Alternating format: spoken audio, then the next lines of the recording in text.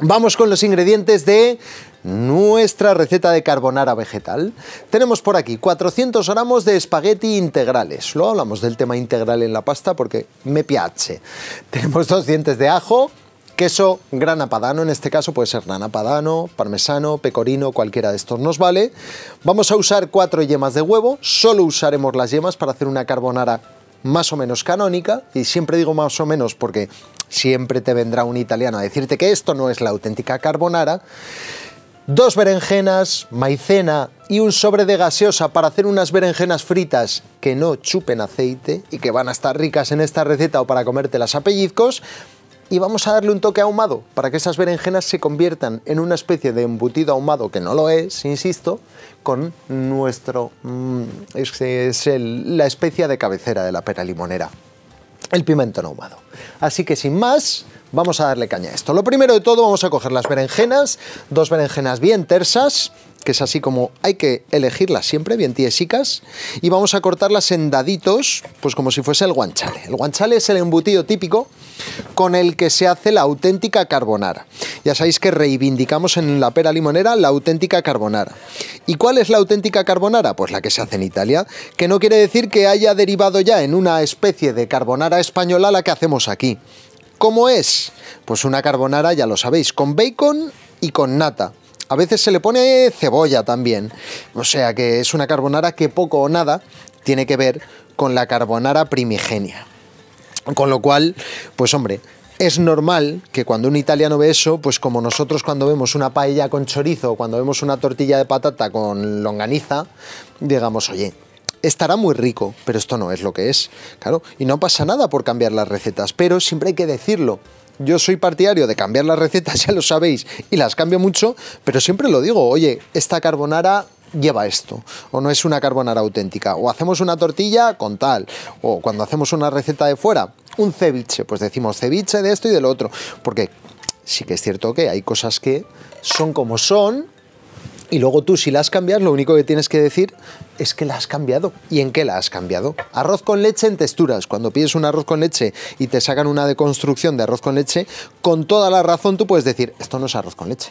A ver, sí, lleva arroz, lleva leche, pero cuando dices arroz con leche presupones lo que te vas a encontrar. Con lo cual, si no es eso, por lo menos dilo y no estás engañando a nadie. Si es muy divertido, si probablemente esté igual de rico o más a veces que una receta original, pero tienes que decirlo para que la gente no se mosquee y no diga, esto no es lo que yo me esperaba. Pues con estas cosas pasan lo mismo. Y los italianos es normal que cuando vean una carbonara con bacon y con nata digan, ma como, ma como, pero, pero qué cosa es esta, y con toda la razón, ¿vale? Luego está rica esa carbonara con nata es bastante pesadota porque se le suele meter mucha nata, pero carbonara española la podríamos llamar ya, como diciendo, no es la italiana. ¿Vale? Y te puede gustar más o menos, pero no es la italiana. Entonces, de un tiempo a esta parte ya, ya hace años, gracias sobre todo a la globalización y gracias sobre todo a las redes sociales que tienen cosas horribles pero también tienen otras maravillosas, sabemos cómo se hace una carbonara de verdad. ¿Por qué? Porque te abres YouTube, por cierto, también te puedes abrir en YouTube la pera limonera, suscribirte, darle al like a todas las recetas y ahí las tenéis todas colgadas. Aprovecho y meto la cuñita. Pero un tiempo a esta parte Tú puedes ver a, no sé, Massimo Bottura, el mejor cocinero italiano o el más popular por lo menos, o cocineros tradicionales, o a una mamá italiana que ha cogido a su hijo y le ha grabado haciendo recetas, y entonces dices, ah, vale, Así es como se hace la carbonara, o la pasta fresca, o las berenjenas a la parmigiana, y dices, esto no es lo que, lo que yo había hecho hasta ahora. Bueno, pues supongo que se producía el teléfono roto. Pues como, lo digo ya hasta en italiano, el teléfono roto. Pues, ¿qué es el teléfono roto? Pues bueno, supongo que la carbonara española nació de la siguiente manera. Tengo un amigo cocinero que se ha ido, o cocinero o no, que le gusta comer, y se ha ido a Italia y ha probado una carbonara. ¿Y qué lleva esa carbonara? Pues chico, yo la probé y diría que lleva esto y lo otro. Y yo creo que lleva nata, porque sí que es cierto que la crema que vamos a hacer te puede inducir a confusión y pensar que es nata cuando, cuando no notas muy bien los ingredientes o cuando no se los has preguntado al cocinero, que al final y entonces, de ese teléfono roto, ah, claro, y el guanchale, pues eso es, eso es como panceta o como bacon. Pues como panceta, como bacon, se quedó en el bacon. ¿Y qué más lleva? Pues no noté tropezones por ahí. ¿Cómo no le vas a poner cebolla a la pasta? Pues yo le pongo. Y así se quedaría. Yo supongo, esto es una película que me monto yo cuando, cuando voy al baño, me quedo pensando en cosas y estas películas son las que me monto. Son mis ratos de pensar y de filosofar. ¿Qué le vamos a hacer? Y yo digo que así nacería la carbonara española, como tantas otras recetas y como la paella guiri a la que le ponen chorizo y todo lo que le viene en gana. Yo que sí, pues así son las cosas.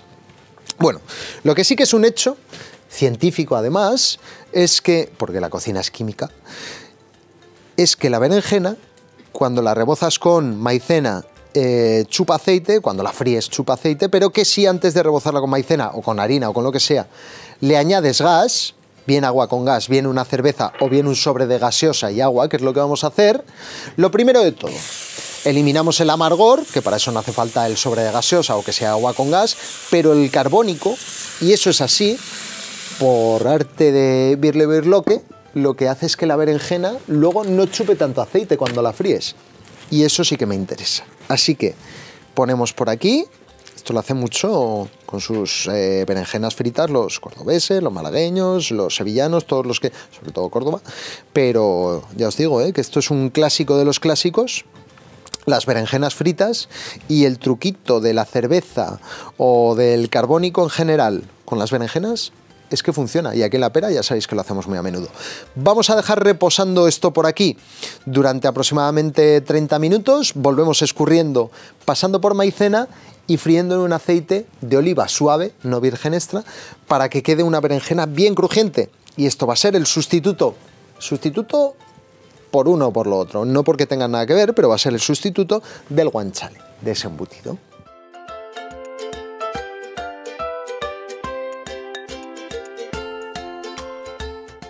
Bueno, por aquí tenemos la berenjena, la hemos escurrido, hemos eliminado el agua de vegetación que tenía cierta turbidez, lo cual significa que ha eliminado el poco amargor que pudiese tener. Y ahora lo que hacemos es pues una especie de rebozado y a mí me gusta especialmente hacerlo con maicena, con fécula de maíz, porque de esa forma queda como más crujientito. Coge solo la cantidad necesaria, ve agregando cucharadas así, chinachana, muy bien. O piano, piano, mejor dicho. Eh, esto es. Y de esa forma tenemos solo lo que le hace falta coger a nuestra berenjena para que quede una capita crujiente y protectora. Y luego esto está doradito. Lo que os decía, vamos a hacer cantidad. Y esto te vale para comértelo así tal cual, a pellizcos, como unas pataticas fritas, pero con berenjena. O te vale para hacer lo que vamos a hacer hoy, que es metérselo a una receta. Pondremos parte nos interesa que quede crujientito, pero también nos interesa el saborcico. Entonces, parte vamos a ponerlo mezclado con la salsa parmillana que vamos a hacer, con la salsa carbonara, mejor dicho, y luego pondremos por encima otra tanta que habremos respetado y que estará bien dorada y crujiente. No sé si me he explicado, pero al final, en la pera limonera, como mejor se explican las cosas es con el movimiento. Y en la vida en general, con la práctica, siempre mucho mejor. Vale, aceitito de oliva suave, no virgen extra para este tipo de cosas. Siempre lo digo, eh, mayor temperatura con un aceite de oliva suave. Luego, aparte, va a tener un solo uso porque la maicena va a deteriorarlo. Con lo cual, no gastéis virgen extra para estas cosas y hacedlo para otras, para cocinar o para terminar y dar el toque final. Me parece ¿eh? que es una decisión buena. Vale, meneamos un poquito más y para comprobar si esto está en el punto adecuado de fritura, vamos a meter una berenjenica. Pues mira, todavía le falta un poco de temperatura a esto, así que vamos a meterle un poco de candela. Esa primera berenjena que chupará un poquito de aceite la desechamos y aquí paz y después gloria fuertes en concreto. No pasa nada porque tenemos faena mientras tanto. Esto nos va a costar hacerlo 5 minuticos más que nada, con lo cual tenemos preparada aquí el agua de cocción, fijaos. Y tenemos espagueti, espagueti integral. ¿Por qué hemos elegido espagueti integral? Yo últimamente prácticamente solo como pasta integral que alguna vez no tengo pasta integral, pues no pasa nada como de la otra. Pero como sé que es mucho más sana y el caso es que el sabor no solo no lo noto, sino que si lo noto es para mejor, porque me gusta mucho el sabor a cereal que tiene, a trigo íntegro, que por eso se llama integral, la cosa no engaña, pues como pasta integral y es mucho más sana, pero mucho, mucho más. Y en el estómago me sienta mejor, en fin, que no penaliza, con lo cual perfecto. A esta agua le falta sal, buen pellizco, como no, pero esta vez no la vamos a dejar muy sabrosa el agua porque parte del agua forma parte de la salsa carbonara y esto es muy importante, esto que acaba de decir. Ponemos por aquí Los espagueti integrales. Muy bien, la pasta típica para hacer carbonara suelen ser pastas alargadas. Eh, tallarines, espagueti, todo esto. Pero si queréis hacerlo con macarrones, eh, por mi parte no va a haber ningún problema y va a estar igualmente buena. Y vamos a ir mezclando poco a poco, ya sabéis. Y por aquí, mientras tanto, no sé si veis en esta olla que ya el burbujeo se está produciendo. Así que vamos a trabajar de momento a dos pistas y acabaremos trabajando a tres. Vamos al lío. Nos preparamos una raserica, una araña, araña mucho mejor, y vamos a ir introduciendo por aquí.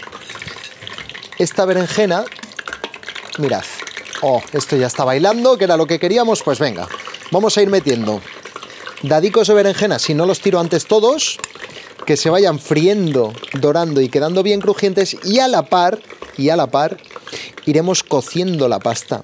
Pero ojo, hay que cocerla un poquito menos de al dente, o sea, que esté ligeramente crujiente, que nosotros terminaremos de cocinarla con nuestra agua y con nuestra salsa.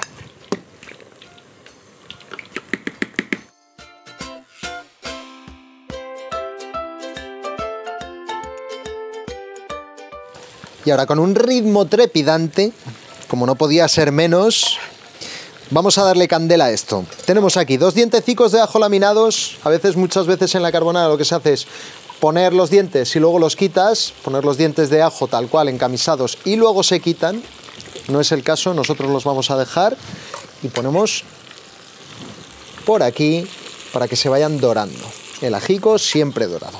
Por otra parte estoy con el segundo viaje de berenjenas que lo tengo ahí, quedan doraditas, crujientes, hemos dado fe de ello, están riquísimas, son un espectáculo. Y venga, ahora ya lo único de lo que se trata es de ensamblar un poco los ingredientes. Vamos a sacar por aquí las berenjenas, que estas también están tostaditas, y vamos a darle el toque ahumado, como si fuesen una especie de pues eso, bacon vegetal. Siempre estos términos a veces dan rabia, a veces no, pero simplemente es un jueguecico y que nadie se sienta mal por ello. Escuchad. Crujientito, ¿eh? Pues eso es lo que hemos hecho.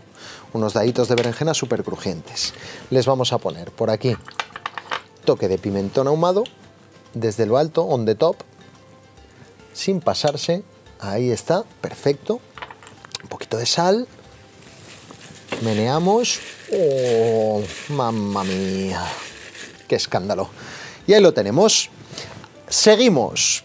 Le metemos candela al fuego. Que baile el ajo, por Dios, que se nos quede un poco rubio. Y tenemos la pasta ahora mismo cocida, pero no del todo, para terminar de cocerla aquí misma. ¿Cómo lo vamos a hacer? Con decisión. Cuando metamos aquí líquido, el agüica, cuidado, no lo metáis de poco en poco porque hay bastante aceite. Y lo que puede pasar es que haya un poco de, salpicón, cosa que no nos interesa en absoluto. Con lo cual, cuando lo hagamos, generosos cuando metamos el agua para que se apodere del aceite. Así que vamos a ello. Vamos a empezar a poner, de momento, chorro de agua para aplacar el aceite. Ahí lo tenéis, ya habéis visto que no pasa nada. Lo malo es si te caen dos gotas y hay un vaso de aceite, entonces sí que tienes un problema. Y pasamos por aquí toda la pasta a la que le falta un minutito o dos de cocción y que se va a terminar de cocer ahí con el ajico. 400 gramos de pasta, 100 gramos de pasta por persona es el gramaje perfecto para una receta como esta. La salsa es contundente, pero tampoco lleva gran cosa. No es de estas recetas de pasta que lleva salsa de tomate, carnes, eh, vegetales. No, es escueta, la carbonara. No lleva 25.000 ingredientes y así ha de ser. Y esta es la maravilla precisamente de la carbonara. Que por cierto, las teorías de por qué se llama carbonara, varias. Porque a los trabajadores del carbón se las hacían sus mujeres cuando llegaban a casa con ingredientes muy habituales y muy humildes en esas zonas, claro está. Pues puede ser una de ellas. Porque lleva mucha pimienta negra. Como si no hubiese un mañana precisamente y al final esas briznas de pimienta parecen carbón y parece que la pasta está carbonada, pues está con toquecitos de carbón, pues también es otra de las teorías. ¿Quién sabe? Son preciosas ambas ellas, pero al final nunca sabes exactamente. Queso parmesano, 200 gramos, o grana padano, o pecorino, el que queráis. Cuatro yemas de huevo sin la clara. Podéis ponerle la clara, pero siempre mejor si la ponéis sin la clara, como cuando hacéis una crema pastelera, está mucho más rico cogemos un poquito del agua de cocción y por esto os decía que mm, no puede estar muy salada porque es que aquí va a ser clara parte de la salsa, sino eh, protagonista muy importante. Y trituramos esto hasta dejar bien finito. Para ser bien carbonara hay que venir al sur. Para ser bien carbonara hay que venir al sur. Atención y de nuevo al documenti porque en este momento ya te podrías comer esto tranquilamente. Una pasta trabadita, porque hemos terminado de cocerla aquí con mucho movimiento y entonces queda como ligada, melosa, los dientecitos de ajo. Vamos a ponerle un chorrito generoso de aceite de oliva virgen extra que le dé brilli brilli. Ahí está, arbequina buena de la almunia de Doña Godina. Viene esta arbequina que además tiene rima filipina. Ligamos todo y ahora ponemos, y es muy importante, fuego apagado, lleva apagado un rato, porque si no metemos esta salsa que lleva yemas, ¿y qué es lo que pasaría? Pues que se cortaría. Claro, es que además también rima, y todo lo que rima tiene que ser verdad siempre. Claro, las yemas se cuajarían y lo que queremos es que quede una salsa cremosita. Depende de la parte de Italia, hacen la carbonara súper seca o la hacen un poco más jugosa. Yo soy más de la vertiente jugosona de la carbonara. Me gusta que quede un poco, pues eso, eh, así con salsita, no te digo que de untar, pero que no quede tampoco garrapiñada, muy secota. Perfecto. Esto lo tenemos ya ahora. Para que esto sea, vamos a rebañar todo esto, madre mía, qué pecado dejarme a mí eso. Y ahora lo que hacemos es carbonarla. Ponemos pimienta negra, imaginaos, si la medida de la pera limonera es como si no hubiese un mañana y estamos haciendo una carbonara, ¿qué os pensáis que puede quedar aquí? Pues es que doble extra de pimienta negra, así que giros rápidos de muñeca. Meneamos, que siempre se queda ahí en el, en el molino, cuando mueles siempre se queda un buen toque. Mezclamos muy bien y ahora le ponemos la berenjena ahumada y fritita. No toda, parte de ella, porque esta sí que es cierto que se va a reblandecer un poquito, pero va a dejar su saborcito y luego por encima pondremos la otra que va a conservar su toque crujiente. Madre mía, qué recetón nos estamos marcando. Estoy especialmente contento. Mira que le hemos hecho carbonaras en la pera limonera, hemos hecho de setas, hemos hecho la clásica, hemos hecho de langostinos, de pescado, pero esta carbonara con berenjena ahumada, ojito con ella, muy seria. Vamos a emplatar ya, sin más dilaciones. Cogemos por aquí, platón berenjena crujiente que tenemos por aquí. Acercamos el platito para la olla para hacer el camino corto, cogemos el trinchante y como siempre hacemos una presentación molona. Hacemos un nido de carbonara maravilloso. Mamma mía, mirad, mirad, mirad qué cosita más chula. Intentamos enrollar todo lo que podamos. Ya sé que soy un poco tiquismiquis, pero es que cuanto más enrollado queda, más bonito depositamos con arte y con salero en el plato y ahí está, dejamos que caiga este maravilloso nido de pasta carbonara. ¿Cómo vamos a rematar? Pues muy sencillo, con un poquito más de pimienta negra para que parezca más carbonara que nunca, con unos daditos de berenjena crujiente que esta no ha tocado la pasta y por tanto permanece mm, como podéis apreciar por el sonido, bien crujiente. ¡Mmm! ¡Qué rica! Y simplemente con un poquito de perejil por el que dirán. Concesión que yo creo que me permitiría hasta el mismísimo Domenico Moduño. Y ahí lo tenéis. Maravillosa receta, solo es la primera de las dos que nos vamos a marcar. Carbonara de berenjena ahumada. Un auténtico escándalo.